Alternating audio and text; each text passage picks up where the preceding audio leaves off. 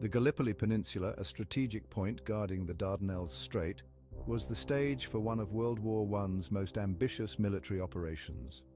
On a chilly spring morning, thousands of Anzac troops disembarked under the cover of darkness, facing not only geographical hurdles but also a determined Ottoman defense that was underestimated by Allied command.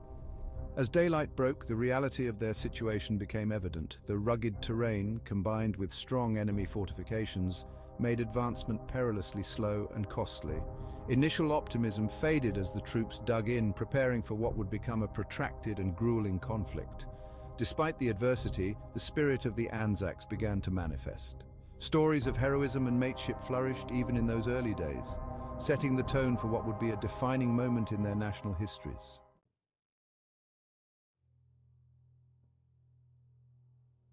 Gallipoli's landscape was a nightmare of steep ridges and dense scrub, offering little cover from enemy fire.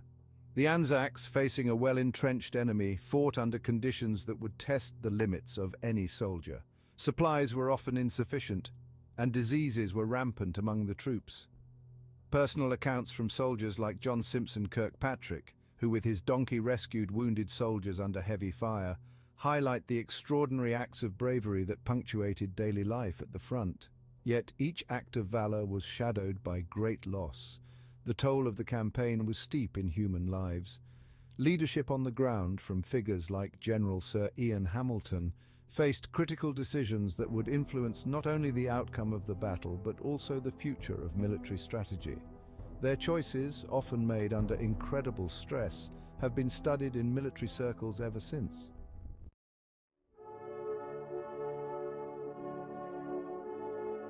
After eight grueling months, the Anzac forces were evacuated in December 1915.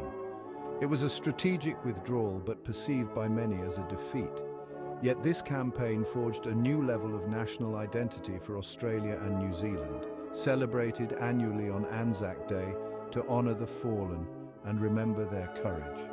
The legacy of Gallipoli is not just in the strategic lessons learned, but in the narrative of endurance and sacrifice that became central to the national stories of these countries.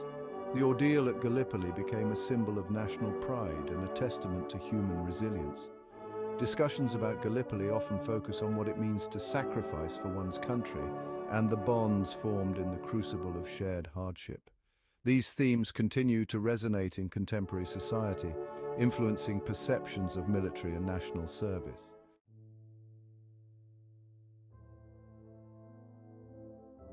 Today, Gallipoli is remembered not just in Australia and New Zealand, but around the world. Memorials stand not only on the windswept shores of the peninsula, but also in the hearts of people as a symbol of courage against seemingly insurmountable odds. Educational programs and historical documentaries ensure that the lessons and stories from Gallipoli are passed down to future generations. As we reflect on these events, the enduring message is clear, the spirit of Anzac with its core values of bravery, mateship and sacrifice, continues to inspire and teach us about the complexities of human nature and the cost of freedom.